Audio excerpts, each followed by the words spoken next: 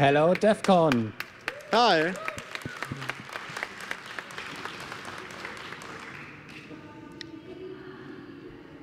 I hope you enjoy your time here. We definitely do. It's actually our first time here at DEF CON, and thus we are very proud and excited to present to you our talk, Redefining V2G, how to use your vehicle as a game controller. So why do we need to redefine the acronym V2G? Oh. Um, well, let me tell you a story. Once upon a time, our professor told us we should do some research about V2G. And what he means by that is that we look at vehicle to grid communication, the communication between the car and the charge point, and also the backend and uh, even the power grid for um, bidirectional charging, for example. Well, that's, that's actually a pretty cool research topic. But um, do you know what's even cooler? Using your car as a game controller. So um, that's why we developed this little project called Vehicle to Game. But before we get started with that, a short introduction um, of ourselves. My name is Timm. I'm a PhD student at Darmstadt University of Applied Sciences in Germany. And um, I mainly yeah, do automotive security. So um, also a lot of theoretical stuff. I look at protocols and standards and uh, do a formal analysis of these standards to see if they, um, if they meet certain security goals. Yeah, hello from my side too. I'm Jannis. Uh, I'm also a PhD student at our small automotive research group called A uh, ACSD, Automotive Security, uh, Automotive Cybersecurity Darmstadt. It's located in Germany. Um, I've finished my master's at the end of the last year, and now I'm a PhD student about uh, resilience in the automotive topic, uh, but also for IoT, systems. Means uh, what happens if an ECU in a car breaks or is going to be compromised, how you can migrate functionality to another ECU and strengthen the, strengthen the safety inside the car by such a resilient concept.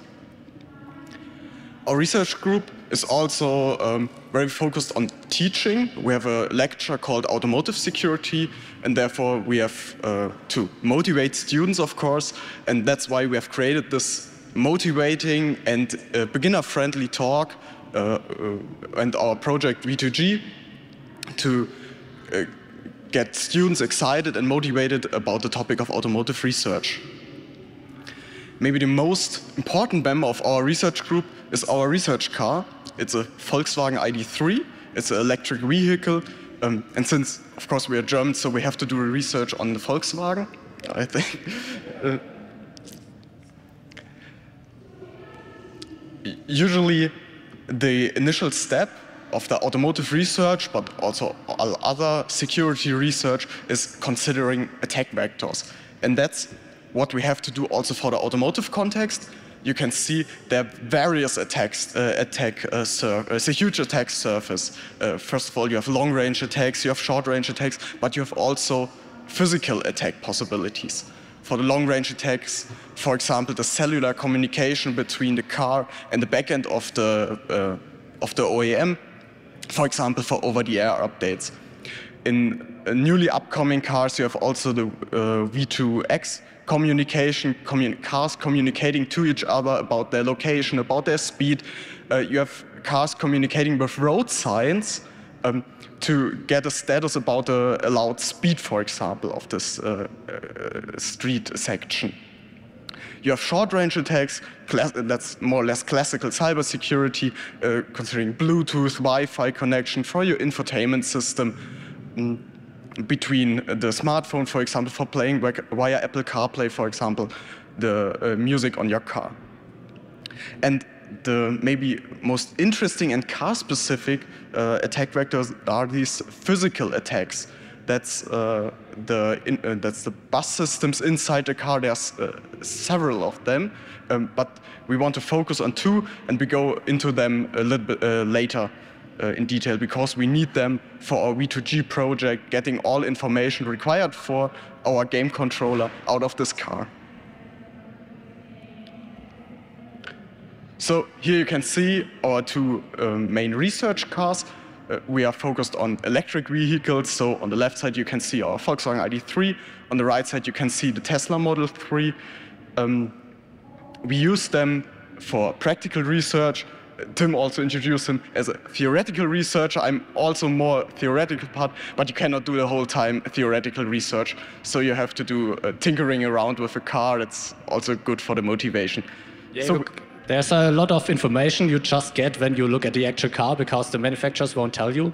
And also for students, it's quite cool to uh, do research on the actual cars and um, projects. So we have equipped our cars with lots of techniques to get uh, information about them. And we show you in the following how we, uh, how we have done this. That's the back of the Volkswagen ID3. We've equipped this with lots of measurement techniques on the right, you can see so-called vector boxes. They're from a German company called Vector. That's why we call them vector boxes.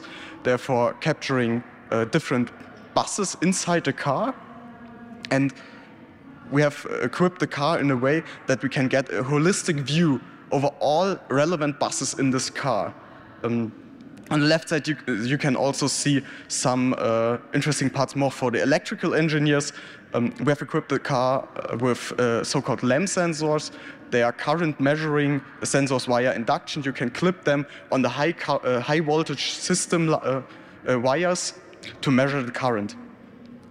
The idea behind this holistic view between physical and messages inside the car is to get uh, that we can compare those data and get um, mm, and get correlations between the actual physical measurements and the uh, recorded, for example, CAN bus data. As I've already introduced from a theoretical way, there's also a practical attack surface, of course. On the left side, you, you can see uh, classical uh, key fob attacks using an SDR. Um, maybe all of you have heard about the roll jam attack. You jam the signal of the key fob because it's uh, using a rolling code, and the owner of the car will press a second time, uh, and you have recorded both signals, and you re uh, resend the older one because the car haven't heard this already, uh, already, and so you have a newer one for the car unlocking this in the future without the owner get any notice about this. In the mid, you can see uh, for automotive and tech, uh, classical tech surface also unsoldering uh, the, the chips where the firmware is located on because you have physical access to your car. If you own the car, uh, you can do anything you like with it, more or less. Um, so that's why we have unsoldered the eMMC uh, chip uh, to get in contact with the firmware. Uh, that's the, the, same we've, we've done uh, with the key fob. Uh, you can see here there was uh, the memory chip. And maybe uh, another interesting part is that you then can directly connect with, here you can see such a vector box, to the internal buses of the car. Here you can see one such a ECU. And we have connected those, this box with, this, with the CAN bus of the ECU controlling messages. But before we go therefore a little bit in, in detail uh, how these messages look like, first we have to understand what this CAN bus actually is, how we can we talk to, to those cars. For a game controller, we require, as I've already mentioned, information about spe uh, specific uh, actuators of the car. For example, the steering wheel. We want to later want to transfer the angle of the steering wheel to our virtual game controller. So we have to get this information out of the car. And this information is transferred via the CAN bus.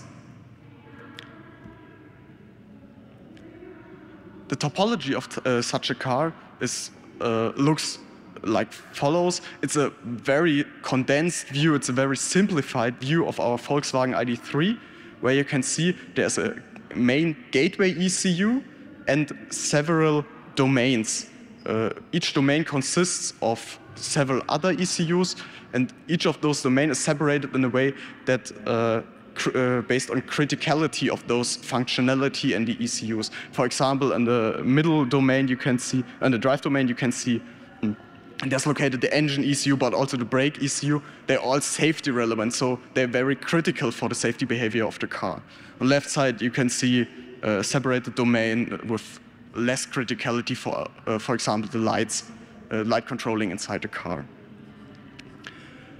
The special uh, thing in this topology is that those domains are separated uh, based on this gateway ECU. The gateway ECU is responsible for uh, um, for shielding the inside of the car against the outside because you know, uh, maybe you know this from, from combustion engine, the outside of the car is connected with a so-called OBD2 port. It's for diagnosis. Uh, if you bring your car uh, to a garage, they will plug there in. And you want to prevent that via the OBD2 port, everyone can read everything of the car. So that's why such a gateway ECU is introduced into this topo topology. But this strongly depends on the actual car you want to consider. That's just for the Volkswagen ID3 and the group of uh, vehicles from Volkswagen. Now we get a little bit into detail, detail about this CAN bus. The CAN bus was developed by Bosch in 1986.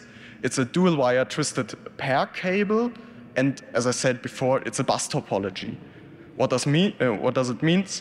A bus topology means that the ECUs are connected to the same wire or twist, uh, wire pair, and all ECUs get the same state of information in the respective time frame. We have a, a frequency of this in this CAN bus, and all in this information is distributed in this time frame to all uh, ECUs uh, connected to this CAN bus.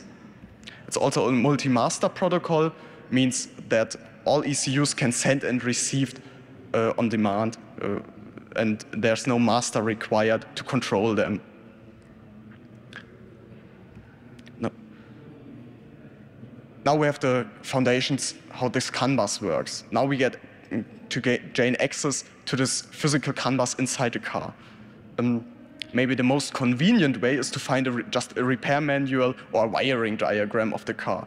Uh, they're usually available for garages. Uh, for Volkswagen, you can uh, get them online. If you, uh, if you claim you're a garage, then you can buy it. Um, uh, otherwise, you have to find it out by yourself, but this can become very, very hard. So we recommend having such a wiring diagram. Based on this wiring diagram, you can find a good uh, exposed position of, the, uh, of an interesting CAN bus uh, where you can connect uh, to. For example, here you can see the Tesla Model 3, uh, which is in the mid console of the car. There's, uh, there's one of uh, three CAN buses, which you can easily open and connect to a ready-to-buy adapter. you can buy those adapters easily on eBay, for example. And then you get, can gain access to this CAN bus. If you don't want to destroy your car or altering this, uh, there are also less intrusive uh, techniques uh, uh called contactless CAN readers. They read CAN messages based off indu induction of the signal. And that's more or less, it looks like a crocodile. That's why uh, some products called CAN crocodile. You clamp the CAN wires, high and low, those dual wires, between the uh, between the clamp of the, can, uh, of the contactless CAN reader, and you can read those messages. So you have uh, gained access to the physical layer. You have read those physical signals um, of the CAN uh, bus. Now you have to transfer them into software, and therefore you need uh, such an, uh, for example, for the Raspberry Pi, for example, a CAN HAT, where those CAN, physical CAN signals are interpreted and transferred to the kernel of the uh, Raspberry Pi. And there are also other options available uh, which can conven uh, conveniently used uh, where you can connect your CAN bus directly via USB to your PC. This also works for Windows, so maybe it's for part of you interesting. So now we have transferred the message to the software part of our project, and that's where Timm continues. All right. So uh, very conveniently, in the Linux kernel, there's already a CAN driver built in. And uh, um, if you want to work with that, there's CAN utils, which has all the basic tools um, to, to use that. Um, also, if you are, want to, to do more advanced stuff for scripting, you can use Uh, for example, Python CAN is a really good library. That's what we use for our project. Um, there's also CAN tools for more advanced command line tools. Um, if you're into GUIs, there is SavvyCAN, which is a really good open source uh, GUI tool. Um, and of course, there are a lot of commercial tools. We talked about all this vector stuff before. Um, but let's stick with the very basics. So you install CANutils, and then they're very, like, there's this candump demand, uh, command, which will just print all out all of the CAN messages on the bus. It looks somehow like this, but probably a lot faster if you're on a real car. So um, for Tesla, for example, it might be on one bus, it's, I think, like 3,000 uh, messages a second, so it can be quite a lot. Um, one stack back, even um, if you connect to this, um, um, so for Linux, it's um, CAN interface is like any other network interface if your adapter is uh, compatible with socket CAN. So the only difference is that like you, you don't have network manager to directly um, get your um, interface up and running, so, and you also need a bitrate. Um, so you have to tell the, the, uh, how, um, the computer how fast the bus uh, operates. And um, you can measure that by using an oscilloscope, of course.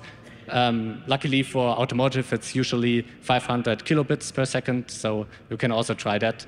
And just as a disclaimer, there are also like uh, more, uh, um, yeah, more mo modern standards, um, like improvements on the CAN standards. For example, CANFD, um, and there you will also need to have the data rate, for example.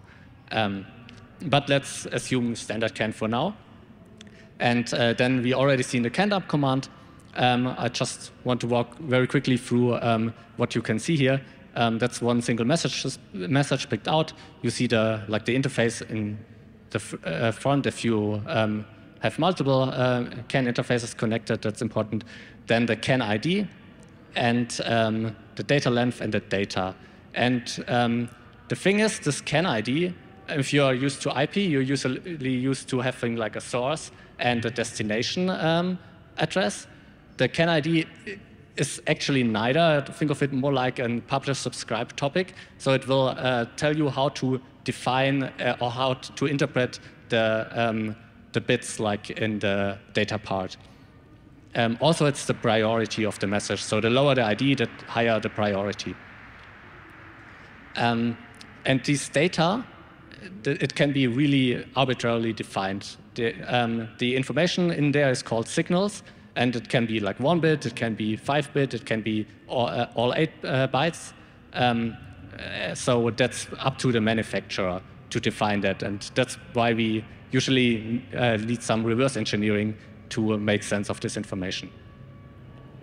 Okay, so if you you might um, uh, want to get started, but maybe you do not want to like remove all the plating of your car, and uh, it sounds very um, um, like a lot of work to figure out all the wiring and stuff.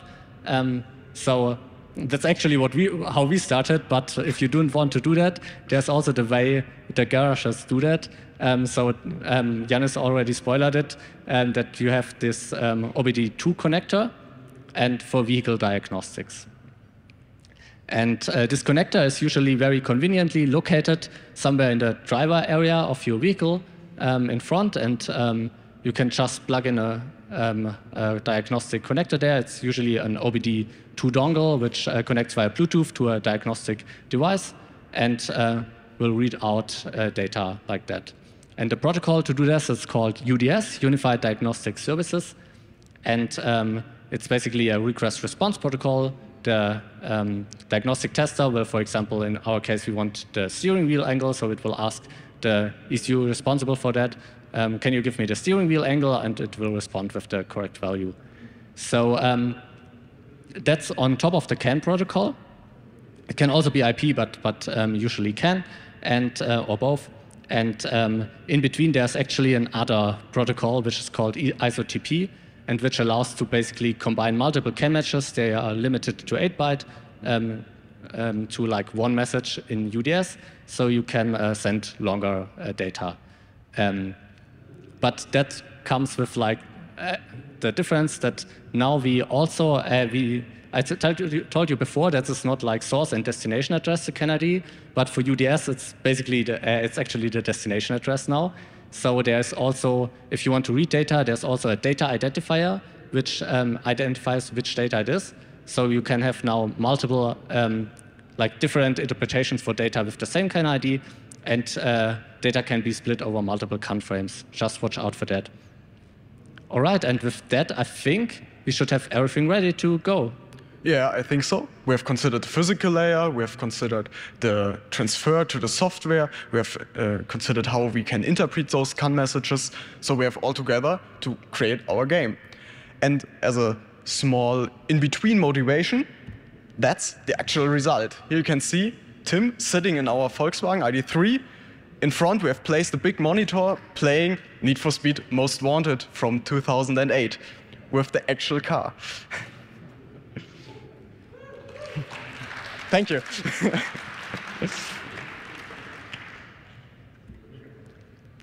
You can see a little bit more of our V2G experience. On left side, you can see our setup, a laptop where the game is actually running. In front of the car, we have placed a huge monitor for very immersive experience for the driver, but also for all other people inside the car.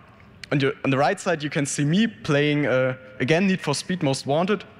And you can see I'm very focused on this game. So uh, as I said, it's very immersive and it's a very cool experience sitting in such an equipped car. But how can we, can we now connect the laptop, the game, with the car? You can see on the right the topology again. And therefore, we have several possibilities to, to, con to connect the car.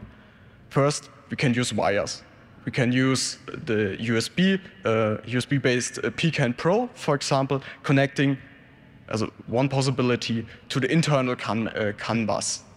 And therefore, we have to figure out which CAN bus relevant messages are located on. We have to find the relevant messages, uh, figuring out the relevant signals of the CAN, uh, CAN message, as Timm already explained. And there's an overwhelming number of CAN messages on this internal bus. As Timm said, several thousands per second. So it's quite difficult to figuring this stuff out. Also, the whole breakout box stuff we've shown to you is required to get access to those internal buses. So the more convenient solution is connecting directly to the OBD2 port and use the diagnostic services for polling those informations and getting conveniently just the requested information. But since we live in 2024, wires are a little bit outdated, we have created a Raspberry Pi HAT, uh, which allows us to emulate an uh, Xbox uh, 360 controller with a Raspberry Pi Zero, connecting directly to the OBD2 port of the car. And this Raspberry Pi uh, connects via Bluetooth to the laptop, emulates this controller, and the laptop can stand outside the car and runs the game. There we use, for this setup, we use UDS. Now, a little bit into detail of the actual hardware we use for. Um, the lower layer of this, you can see it's a classical Raspberry Pi Zero with no modifications. Above that, we have located um, uh, the Raspberry Pi CAN HAT, which is responsible for converting those physical CAN signals to a software-readable CAN message.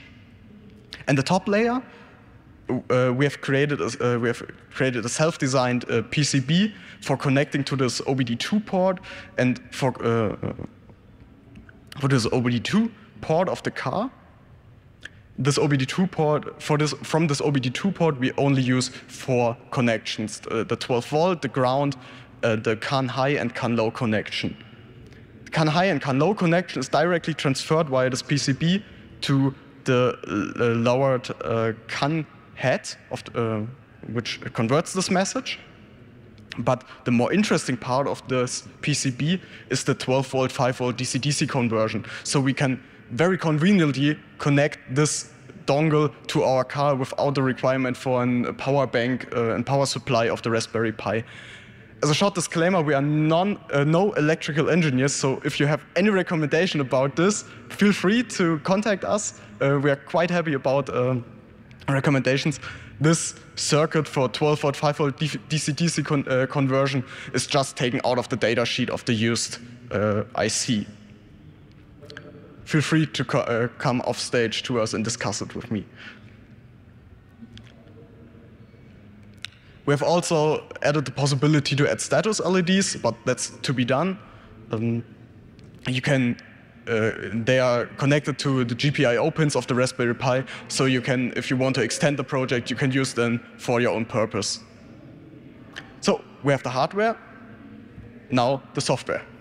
Yeah, just um, I'm just going very briefly over the like the software architecture of our tool. So if you want to um, use it in the Bluetooth mode as like um, a Bluetooth controller, there's an install script for that. You just um, run it on your pre-imaged uh, Raspberry Pi, and it will set up um, everything which is required. Um, if you don't want to do it, then just run it on your own laptop. There's a run script uh, for Linux. For Windows, you just um, directly run the Python protocol. Um, the run script actually will also set up the, some interfaces and stuff, um, but you can do this uh, beforehand if you do not want to execute it with sudo privileges, because that's required for interface management.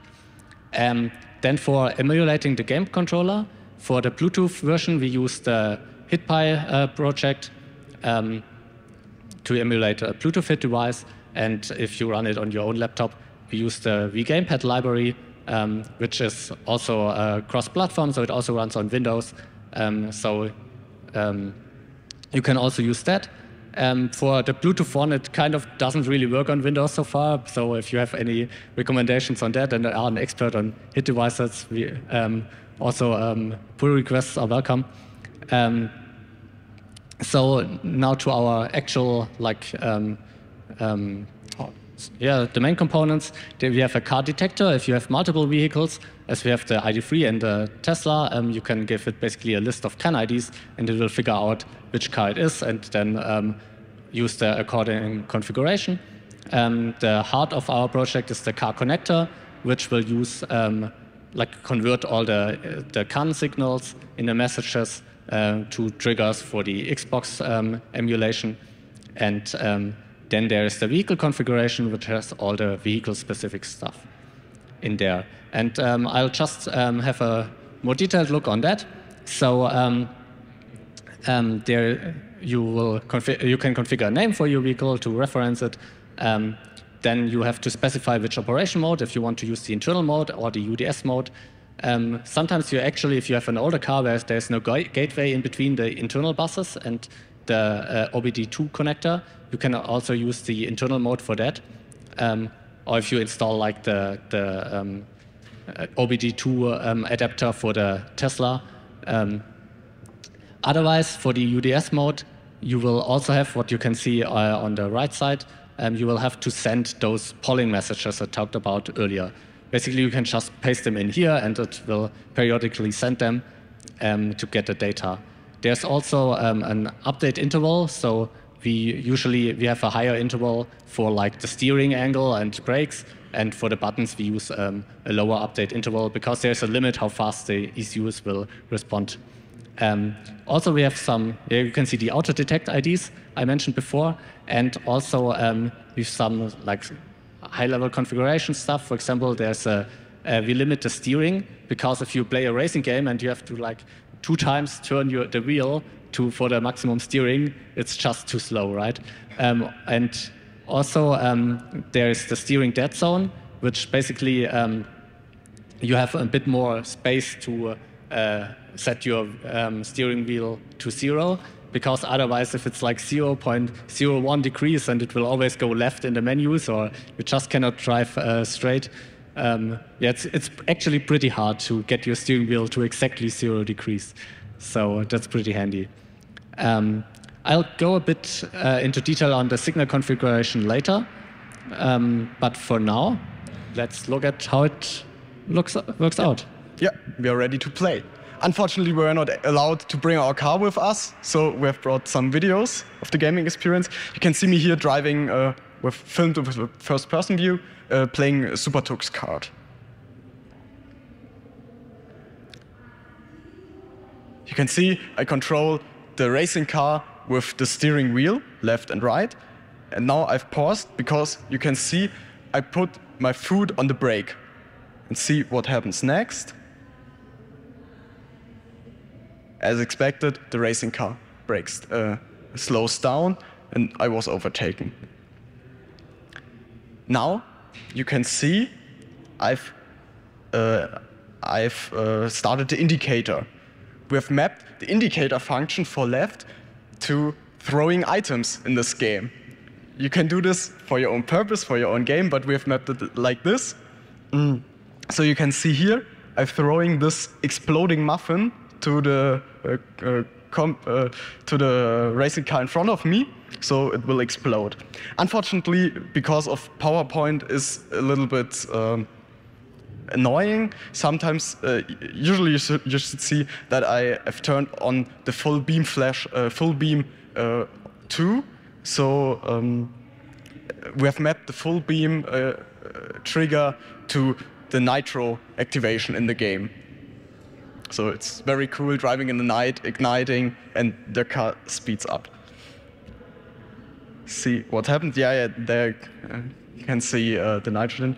Now you can see it's a little bit difficult to drive, especially with just one hand.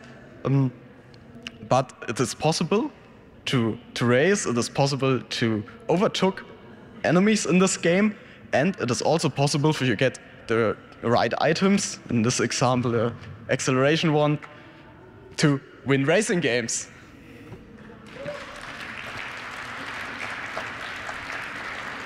And it's actually a lot of fun, so.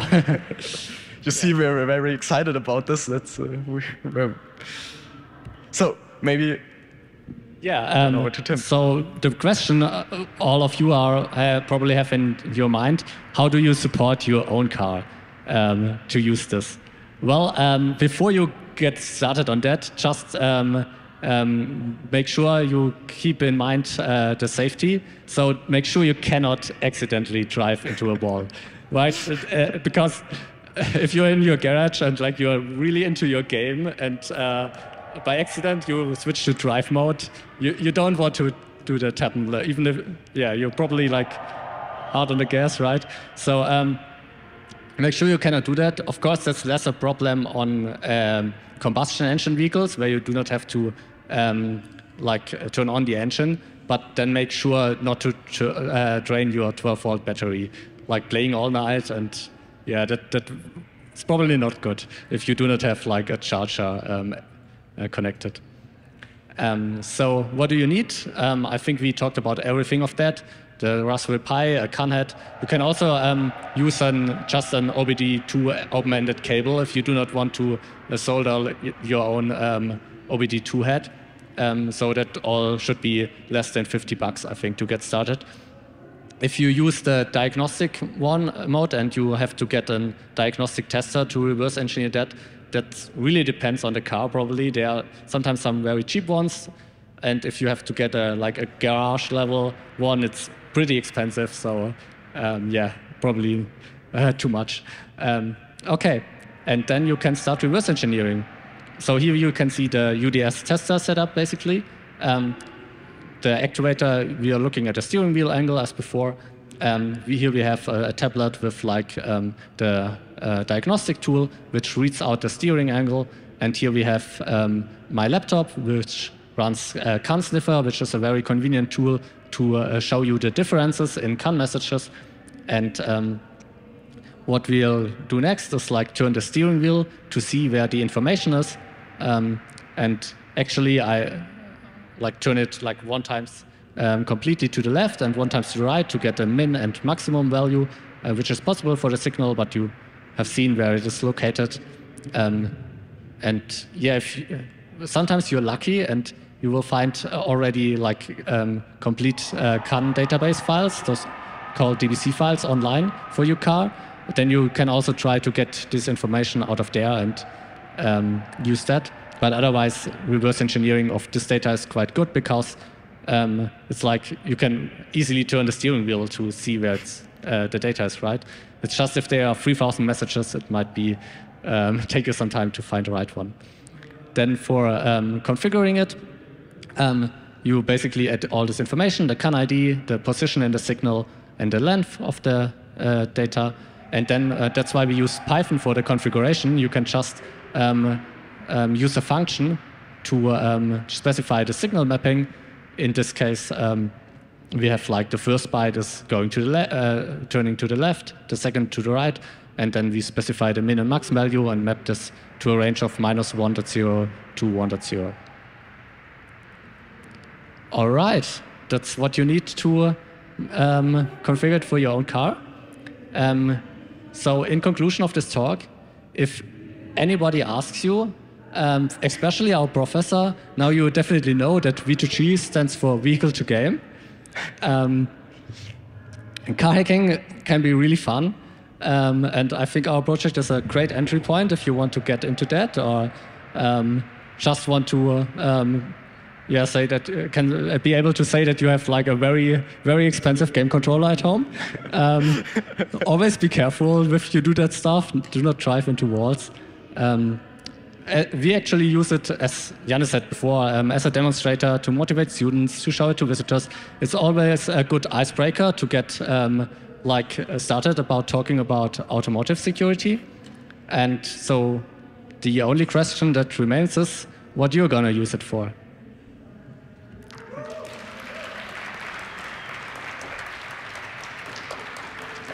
Yeah, feel free to contact us, do any contributions to our project, write us an email. Here you can see the QR code. The Git repository is public, so you can uh, draw, uh, can make an issue or do a pull request. Feel free. We're happy uh, if we can keep in contact with you. And I think we have eight minutes left for questions, if there are any. Otherwise, um, we can also take further questions off stage. Have you thought about uh, playing with heads-up display? You know, you can get these things now. You just put it on the dash, and it'll it'll actually just reflect your uh, uh, iPad or anything up onto the windscreen, and it looks like a heads-up display kind of a uh, thing. Have you thought about that, just for a way to project onto the screen? Um, so. Repeat the question. Oh yeah, so the question was if we have thought about like projecting the um, the game basically onto the screen uh, of the car. So we thought about that. We haven't done it. We also thought about because the ID3 actually has a head-up display. Um, um, yeah, so uh, I think um, there are adapters to uh, to the protocol they use there, and then you can uh, use it as an HDMI interface basically if you in plug in there. So we have some plans maybe for the future, but, uh, but we actually we haven't uh, done that or tested that. But yeah, also just uh, putting a projector in the back of the car. It, uh, it's, it's, probably quite good. Yeah. It's not a security-related problem. It's just throwing money on it, buy a, such a con uh, converter, and then you can easily connect your laptop with those internal screens of the car. That's expensive, but easily doable. Um, yeah, but but um, come up with your own setup. I think there there's a lot of possibility, right? Yeah. the question was how if we uh, build up a flight simulator out, out of this. Um, if you have a real airplane, maybe you can transfer this. uh, um, I don't know. Maybe you can use also your car for this. Uh, it should be possible. It's just an Xbox controller um, you can map it to anything you want. okay, any further questions? No? No. All right. Okay, thank so you. Thank you for listening and um, have a nice day. Enjoy the last day of DEF CON.